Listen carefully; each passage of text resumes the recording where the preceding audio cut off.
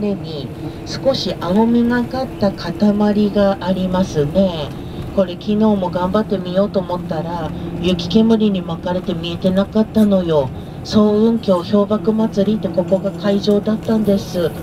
日中はこの青みのある氷の色を楽しめるのね。おまけにイベントやってる時は緑と青いライトアップっていうことで光を入れるんです。で今年は道庁とか時計台モチーフにした氷の塊を右横作られましたというのでせめてもここでねちょっとでも眺めていただけたらと。そしてまた前方に大きく岩壁が見えているところが彩雲峰となります。四季の移り変わりがとても綺麗ということで今なら水没